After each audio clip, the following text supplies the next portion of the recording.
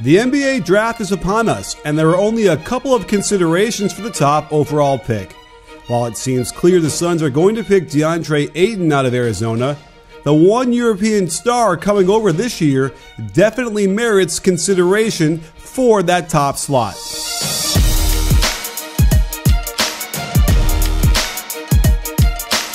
Not only is Luka Doncic one of the most skilled players in the draft with a nice jump shot and extraordinary court vision wrapped in an athletic 6'8 body, but he has also played for new Suns coach Igor Kokoskov on the Slovenian national team and knows how to get the most out of his game, and there's plenty to get out of it.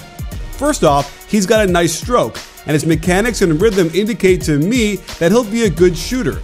Although his percentage overall isn't where it should be, I sense once he gets used to the NBA game and gets more experience, he'll be solid. But he's also got the knack for hitting big shots, the type that are clutch, improvised, and under great duress.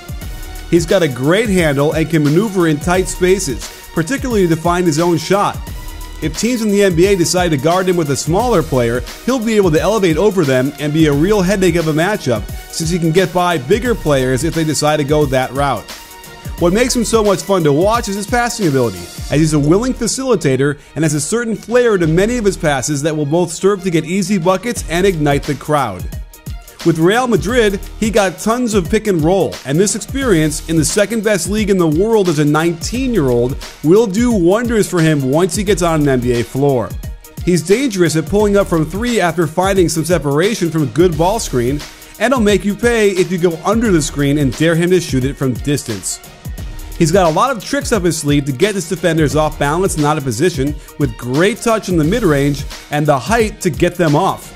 His floater game is very mature for someone so young and something he's going to need against NBA big men who can get up in a hurry.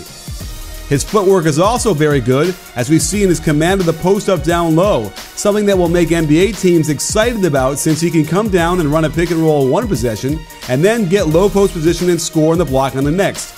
He's still refining the speed of his feet and balance and explosion, but there's no doubt with more work with American strength and conditioning coaches, unlocking more flexibility in his hips and explosion in his legs, he'll become an absolute beast down there.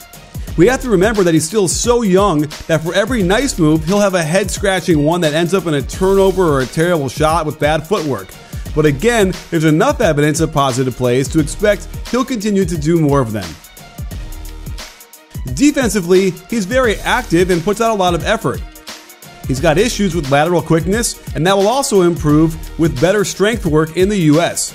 But he can guard smaller players, give them an extra step or two, knowing that his height enables him to recover and challenge jump shots into misses.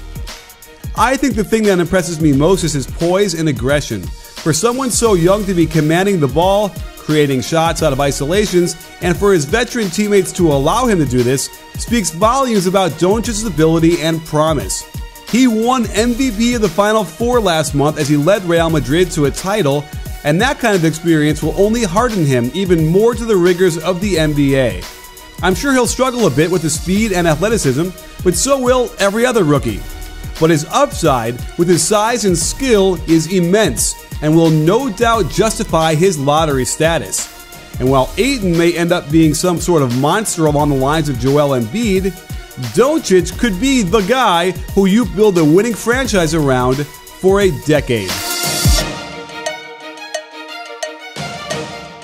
Sports fans, make sure to hit the subscribe button and adjust your settings so you can get notified immediately when we drop another great NBA video.